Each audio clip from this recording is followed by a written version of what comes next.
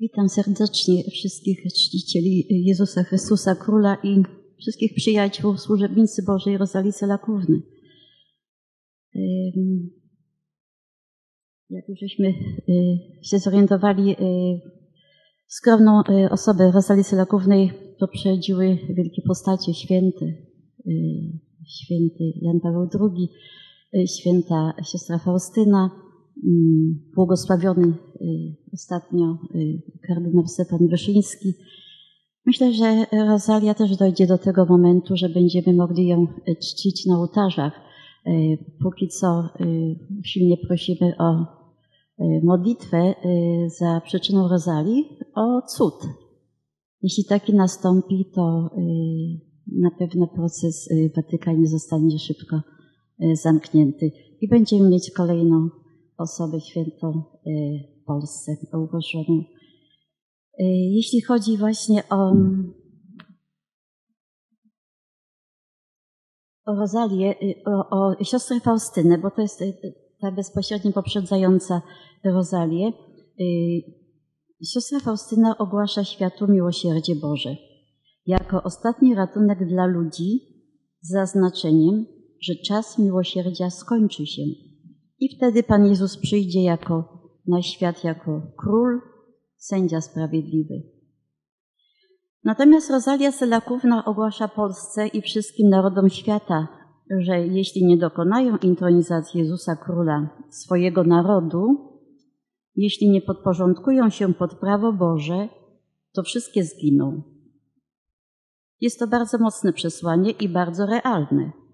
Można powiedzieć, że ten czas nadchodzi wielkimi krokami i na pewno nadejdzie, bo y, jeśli uczestniczymy w Eucharystii, to wypowiadamy takie słowa: Głosimy śmierć Twoją, Panie Jezu. To jest tajemnica wiary, jest wypełniona. Y, wyznajemy Twoje zmartwychwstanie. To jest tajemnica wiary wypełniona. I oczekujemy Twego przyjścia chwale. Czekamy, my też czekamy z wielką nadzieją sercu. I w tym kontekście chciałabym właśnie przedstawić postać Ruzi, Rozali Selakówny i misję jej powierzoną. Chciałabym się głównie tutaj y, skupić na jej życiu, jej przeżyciach wewnętrznych, ponieważ Cały ten nasz kongres poświęcony jest de facto y, misji Rozali. Y, cały czas rozważamy y, ideę królowania Jezusa, więc myślę, że a mało osób tak naprawdę zna Rozalię i mm, muszę też powiedzieć, że to, że jest proces Rozalii otworzony, to nie dlatego, że Pan Jezus jej przekazał taką misję, ale dlatego, że potrafiliśmy wy, y, wykazać heroiczność jej cnót. To jest podstawa do y, otwarcia procesu y, kanonizacyjnego. Rosalia urodziła się 19 września 1901 roku we wsi Jakówka, niedaleko Makowa Podhalańskiego, jako pierwsze z ośmiorga rodzeństwa upragnione dziecko celaków.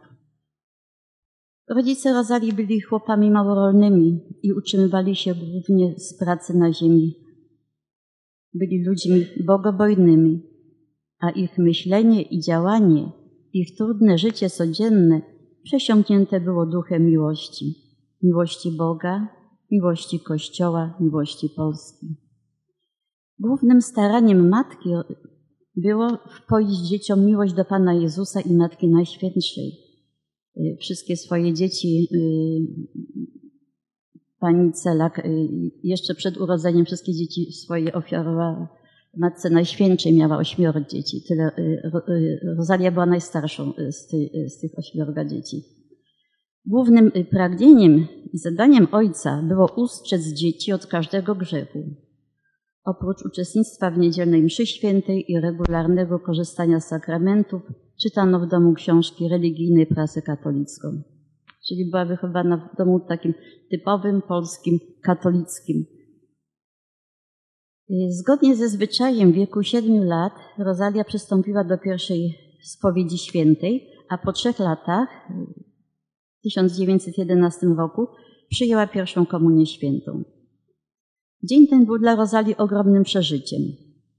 I tak to wspomina. Od pierwszej komunii świętej Pan Jezus wlał w me serce szczególniejszą miłość do Najświętszego Sakramentu. Lubiła modlić się jako dziecko i chodzić do kościoła i bardzo się dziwiła, jak widziała, że dorośli przychodzą do kościoła i modlą się, czyli rozmawiają z Panem Jezusem, czytając książeczki. Ona nie mogła tego pojąć, bo całe jej serce było już skierowane wtedy na y, Pana Jezusa, któremu mówiła z serca do serca, bez pośrednictwa y, książeczek do modlitwy. E, za najważniejsze y, książki, tak w cudzysłowie, z których uczyła się o Panu Bogu, uważała Najświętszy Sakrament, Najświętszą Marię Pannę i Krzyż Jezusa. W szkole nauczyciele i księża katecheci bardzo lubili Rozalię. Stawiali ją za wzór innym dzieciom. W 1914 roku z bardzo dobrymi wynikami Rosalia ukończyła sześcioddziałową szkołę powszechną. Z racji ubóstwa rodziców nie mogła kontynuować nauki w pobliskim miasteczku. Pomagała rodzicom w pracach polowych i domowych. Opiekowała się też młodszym rodzeństwem. Pierwszy bliższy kontakt wewnętrzny z Panem Jezusem miała w wieku sześciu lat. Pan Jezus dał jej wtedy odczuć swoją obecność, a Rosalia odpowiadała na ten głos całą miłością swego dziecięcego serca. Takich chwilach opuszczała swoje koleżanki i szukała samotności w lesie, nad rzeką lub na łące. Z upływem czasu głos ten słodki i tajemny stawał się częstszy i bardziej stanowczy. Pan Jezus powielokroć wzywał Rozalię do całkowitego oddania się Jemu, do porzucenia złudnego szczęścia świata na rzecz szczęścia prawdziwego, które przyniósł On oraz zapewniał, że jej nigdy nie opuści. W wieku mniej więcej 13-14 lat pojawiło się w niej pragnienie świętości przez ukochanie Pana Jezusa aż do zupełnego zapomnienia o sobie. Pragnęła, jak to później określi, spalić się jako, jako ofiara na ołtarzu miłości. Od wczesnych lat rozpoczęła też pracę nad sobą. Będąc z natury dzieckiem porywczym, łatwo wpadała w gniew i z trudem przyjmowała nakazy surowych i wymagających rodziców. Posłuszeństwo było dla niej torturą. Sama tak to napisała we swoich wspomnieniach. Wykazując jednak heroiczną miłość do Pana Jezusa i Matki Najświętszej, składając wiele ofiar przezwyciężania i rezygnacji z siebie, stopniowo wyrobiła w sobie cnotę cichości i łagodności. Dojrzewała duchowo. 2 lipca 1917 roku przyjęła z rąk księcia biskupa krakowskiego Stefana y, Sapiechy sakrament bierzmowania. Rok później złożyła prywatny ślub czystości przed figurą Matki Bożej Niepokalanej w kościele w Winkówce, w, sąsiedniej, w sąsiednim kościele. W wieku 16 lat przyszły na nią pierwsze ciężkie próby. W jej duszy rozpętała się walka duchowa oraz pojawiły się wielkie cierpienia fizyczne. Nagle zapadła na bardzo ciężką chorobę, której lekarz nie umiał rozpoznać. Przez cały miesiąc przykuta do łóżka nie była zdolna sama się podnieść. Wyzdrowienie nastąpiło nagle, w dziewiątym dniu nowenny do Najświętszej Marii Panny. Rosalia wstała z łóżka zupełnie zdrowa po miesięcznej chorobie. Z perspektywy czasu y, Rosalia uznała, że ta choroba była przygotowaniem do późniejszych, jeszcze większych cierpień duchowych. Nastąpiło to niedługo, bo już w dziewiętnastym roku życia Rosalia wchodzi w tak zwaną noc duchową, która będzie trwała sześć długich lat. W tym okresie Rosalia odczuwała wielką oschłość i rozproszenia w czasie modlitwy oraz obojętność na rzeczy święte. Miała wizję piekła i potępieńców. Nawiedzały ją też rozmaite pokusy i choć im nie ulegała, wydawało jej się, że ona popełnia te grzech. Jej się wydawało, że jest największym grzesznikiem, że, że y, jest bardziej grzeszna niż szatani w piekle, że Pan Bóg ją po prostu odrzucił. Skrupuły, ciemności, pokusy przeciw wszystkim cnotom, odrzucenie od Boga, rodzaj konania, choroby fizyczne, napaści szatana, łącznie z paleniem się na niej odzieży, były tysiąc razy gorsze od samej śmierci. Ruzia tak, tak mówi. Gdy dusza moja doznawała zewsząd udręczenia, wówczas powoli z pola widzenia usunął się Pan Bóg. Zanurzyłam się w takich ciemnościach, gdzie rozum ludzki czuje się całkowicie bezradny. Zdawało mi się, że z każdą godziną staczam się pie przepaść piekielną. Uszu mych dolatywał szept. Potępiona jesteś, nic ci już nie pomoże. W takich chwilach traciłam przytomność, a śmiertelny pot oblewał mnie całą. Męczarnie duchowe przedłużały się, a Rosalia rozpaczliwie szukała jakiegoś wsparcia.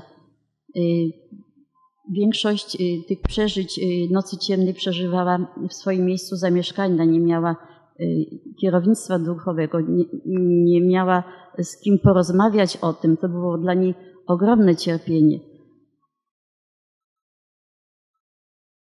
Męczarnie duchowe przedłużały się, a Rosalia rozpaczliwie poszukiwała jakiegoś oparcia. Wtedy z pomocą przyszedł jej Pan Jezus, ukazując swe serce. Nie lękaj się. Są słowa Pana Jezusa. Walcz mężnie przy moim sercu, z którego będziesz czerpać siłę na całe życie. Otrzymasz łaskę, że ukochasz cierpienie, podobnie jak ja je ukochałem. Odtąd serce Jezusa zaczyna odgrywać coraz większą rolę w jej życiu, by wkrótce stać się dla niej dosłownie wszystkim. Z niego Rosalia będzie czerpać mądrość, łaski i siły do pokonywania dalszych przeszkód. W 1924 roku, więc już w piątym roku trwania tych, tej ciemnej, okropnej nocy, Rosalia przełamuje opór rodziców i udaje się do Krakowa. Byłam przekonana, takie są jej słowa, że taka jest wola Boża. Była przekonana, że taka jest wola Boża względem, względem niej i że Pan Jezus chce ją tam mieć. Nie bez znaczenia był fakt, że pobyt w Krakowie daje możliwość codziennego udziału we mszy świętej i stałego kierownictwa duchowego, którego brak w Jachówce bardzo dotkliwie odczuwała. W 1925 roku podjęła pracę posługaczki chorych w szpitalu świętego Łazarza na oddziale chirurgii. Szczególną opieką otaczała tam chorych, biednych i opuszczonych oraz tych, przy których najtrudniej było pracować. W czerwcu, czyli po trzech miesiącach 25 roku, Rosalia została urzędowo przeniesiona na oddział dermatologiczny, gdzie usługiwała osom, osobom chorym wenerycznie. Wewnętrznym natchnieniu Rosalia usłyszała słowa Jezusa.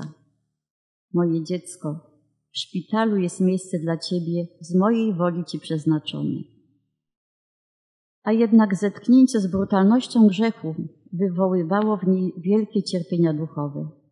Usługując chorym na ciele, a jeszcze bardziej chorym na duszy, ta niewinna dziewczyna z przerażeniem odkrywa istniejący świat zła, ohydne przekleństwa, szyderstwa z Boga, nienawiść sącząca się z ust i czynów jej pacjentek sprawiały jej ogromne cierpienie.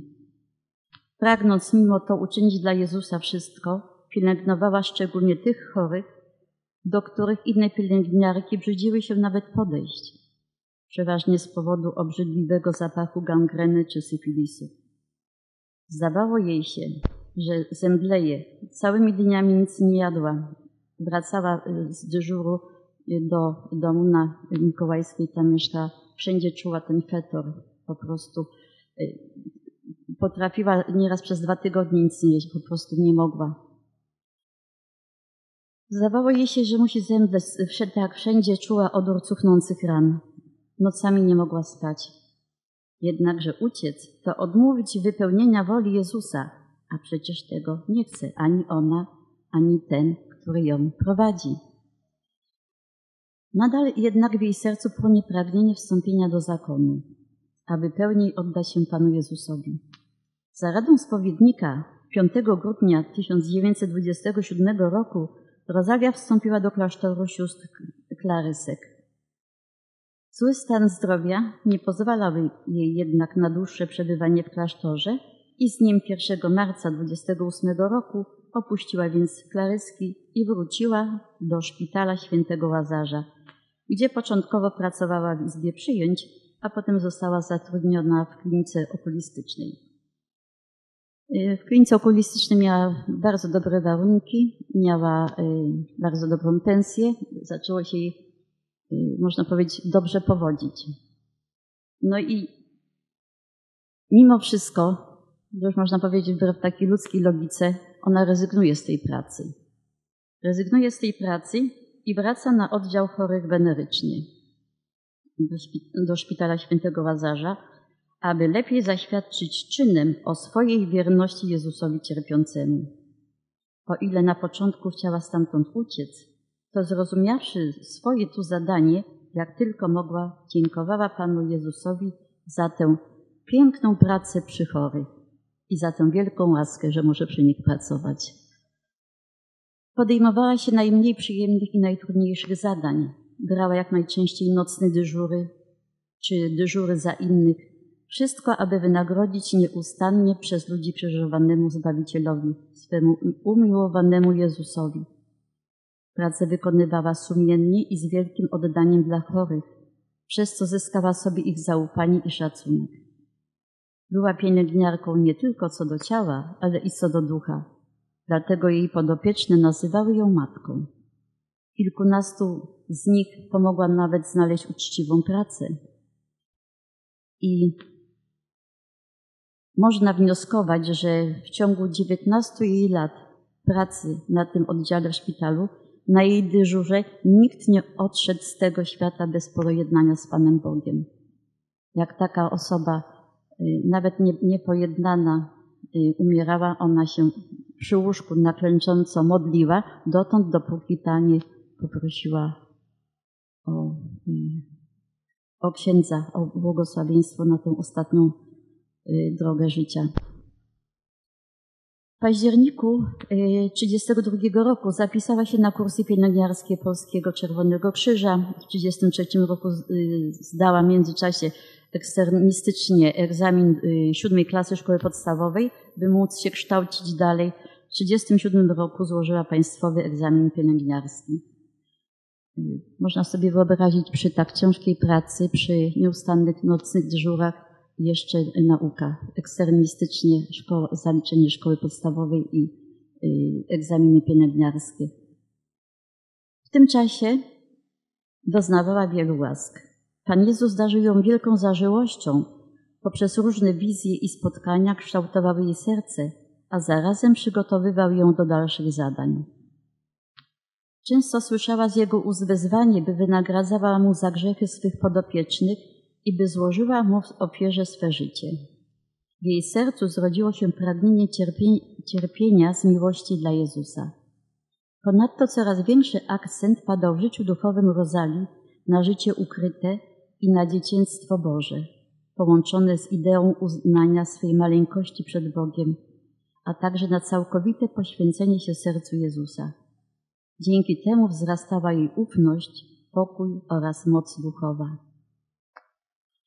Coraz bardziej stawała się człowiekiem wielkiej modlitwy. Codziennie uczestniczyła we mszy świętej, odprawiała drogę krzyżową, adorowała Pana Jezusa w Najświętszym Sakramencie. Modlitwą przeniknięta była także jej praca. Modliła się o świętych kapłanów i o nawrócenie grzeszników. Z czasem do tych intencji doszło wynagradzanie za grzechy, szczególnie za grzech nieczystości i nienawiści. Pan Jezus wyjawił jej też potrzebę ekspiacji za grzechy narodu i kapłanów. Na polecenie kolejnych spowiedników spisywała notatki z przeżyć duchowych. Niektóre z nich miały charakter przesłania do większej społeczności. Podczas modlitwy, czasami we śnie, Rosalia miała kontakt ze świętymi, a także z Matką Bożą, z Panem Jezusem. Była przynaglana do całkowitego oddania się Panu Jezusowi, do tego, aby Polska i inne kraje oddały się Jego Najświętszemu Sercu i uznały Go za swego Króla. Skutkiem tego aktu intronizacji ma być nawrócenie się wielu dusz i podporządkowanie się przez nie prawu Bożemu. Spowiednik informował o tych wizjach swojego przełożonego, generała Paulinów, ojca Piusa Przeździeckiego, który z kolei doniósł o tym księdzu prymasowi Polski, y, Augustowi Chlądowi. Y, ja tych wizji nie będę czytać, bo jest czas bardzo ograniczony. One są wszystkie już od dawna publikowane, dlatego proszę wybaczyć, ja pomijam to, co jest już w zasadzie wszystkim znane. Dla upewnienia się o wiarygodności objawień Rozali zalecił poddanie jej badaniu lekarskiemu. W 1938 roku Rosalia na polecenie swego spowiednika poddała się takiemu badaniu, które, które nie wykazało u niej choroby nerwowej ani odchyleń psychicznych. Wręcz przeciwnie. To badanie lekarskie wzbudziło u badającego ją lekarza wielki szacunek do niej. Cicha, pokorna i uczynna wielu osobom służyła pomocą, a ubogim dawała jałmużnę, sama żyjąc w ubóstwie. Mimo to miała wielu wrogów, była upokarzana, nawet prześladowana. To jest to, co potrafi zrobić y, ludzka zawiść, zazdrość. Przez dwa lata była napadana na ulicy przez osobę niezrównoważoną psychicznie.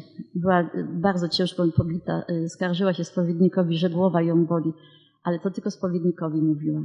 Nigdzie nie zgłaszała tego. Czasami się bała iść do kościoła, bo, bo ta osoba po prostu czekała na nią po to, żeby ją bić po głowie.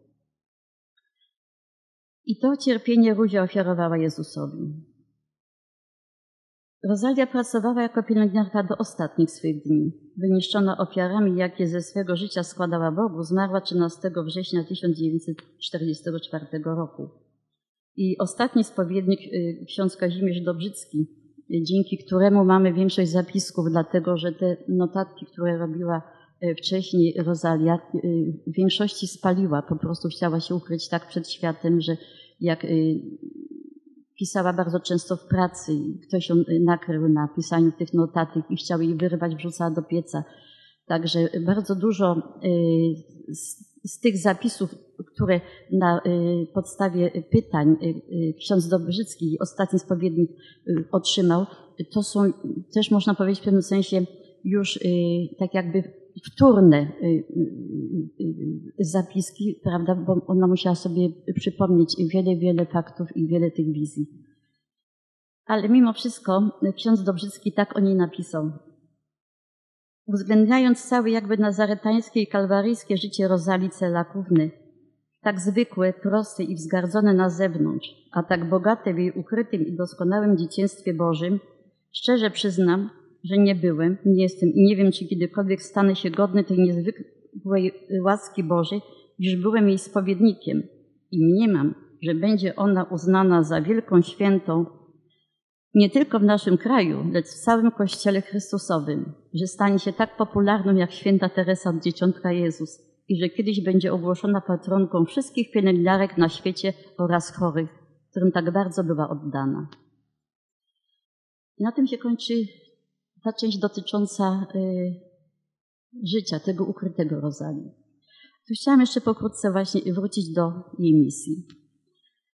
Od 1937 roku Rosalia otrzymuje szereg wizji y, proroczych, w których żądania Jezusa wobec Polski i świata zostały bardzo wyraźnie sprecyzowane. W skrócie można powiedzieć tak. Y, to jest, to jest z, z wizji Rosalii. Wielkie i straszne grzechy i zbrodnie są Polski. Sprawiedliwość Boża chce ukarać ten naród za grzechy, zwłaszcza za grzechy nieczyste, morderstwa i nienawiść. Jest jednak ratunek dla Polski, jeśli nie uzna za swego króla i pana w zupełności poprzez intronizację nie tylko w poszczególnych częściach kraju, ale w całym państwie z rządem na czele. To uznanie ma być potwierdzone porzuceniem grzechów, a całkowitym zwrotem do Boga. Tylko we mnie jest ratunek dla Polski. A zatem, jeśli Polska chce ocalić siebie, musi uznać Jezusa swym królem w całym tego słowa znaczeniu, poprzez akt intronizacji poddać się pod prawo Boże. Za przykładem Polski pójdą inne narody i także one dokonają aktu intronizacji Jezusa na swego króla. Wszystkie narody, które nie uznają Jezusa swym królem, zginą. Od spełnienia tych żądań Bóg uzależniał los naszej ojczyzny i innych narodów. Misja Rozalii wydawałoby się, że jest y, nietrudna do zrozumienia. Od początku natrafiała na przeszkody. W życiu religijnym ówczesnej społeczności dominował kult serca Jezusa, a z nim związane było słowo intronizacja. Jednoznacznie więc odczytywano misję Rozalii jako intronizację serca. Nie będę tutaj tego wyjaśniać, ponieważ wcześniej mieliśmy już y, poprzednich prelegentów, którzy y, wyjaśnili te kwestie. Ale Mm. jest jeszcze jeden taki, taki aspekt, y, że y, kult serca Jezusa, który był objawiony poprzez Marię Małgorzatę Alakok w XVII wieku, y, w zasadzie dotyczył wynagradzania za grzechy własne i cudze popełnione wobec odwiecznej miłości, wynagradzanie też za grzechy świata, ale w zasadzie był y, kierowany tak jakby do y, jednostki. Y, w pismach Marii Małgorzaty Alakok jednak znajduje się bardzo ciekawy fragment też z jej jakby przeżyć wewnętrznych, które, które Pan Jezus jej przekazał. I wydaje mi się, że to jest jakąś taką, takim kluczem, dlaczego potem Pan Jezus po 300 latach Y, do Rozali Sylakówny y, przekazał y, żądanie, aby, i to było żądanie skierowane do narodów, nie do pojedynczej osoby, do narodów właśnie. Dlatego te, te mm, dwie misje, że tak powiem, no należy w istocie oddzielać, ale w sumie one się łączą. Pan Jezus powiedział do Marii Małgorzaty Alakok takie słowa ponad 300 lat temu. Umiłowana, Wybrałem Cię, aby wskazać moim, moim dzieciom jedyny ratunek, jaki został dla nich przygotowany na czas poprzedzający ostatnią walkę. Zachowałem w ukryciu aż do tej chwili moje najświętsze serce, by w czasach wielkiego odstępstwa zajaśniało Wam wielkim światłem poznania prawdy. Nadchodzi czas, kiedy władca tego świata jeszcze raz wezwie ludzkość do walki ze mną, z moją miłością. Oto nadejdzie dzień ostatni. W owym dniu powrócę na ziemię w potędze i majestacie króla. W owym dniu biada będzie tym, których serca pozostały nieczułe na błaganie mojej miłości. I tu dalej, dalej mówi, że wszystko, co y, y, nie narodziło się z miłości i nie powstało z miłości, zostanie spalone. Dlatego ten kult serca Jezusa był tak bardzo potrzebny, on poprzedzał tą misję i te czasy, w których my teraz żyjemy. Żądanie Pana Jezusa skierowane do naszego narodu za pośrednictwem Rozali ma y, inny charakter i wskazuje raczej na to, że czas przygotowań do ostatecznej walki już się skończył. Po pierwsze, nie jest ono skierowane do jednostek, lecz do narodów. Po drugie, konsekwencją jego niewypełnienia jest totalna zagłada państw. O tym mówią wizje y, tak jak powiedziałam, y, one są w publikacjach, więc już można o, o nich przeczytać. Jest przypomnieniem i rozpoznaniem na nowo prawdy biblijnej, że to nie człowiek jest źródłem prawa oraz władzy, ale Bóg. Ponadto głos Rozali Sylaków jest formą upomnienia się samego Boga o obecność wiary w życiu wspólnotowym narodów i państw.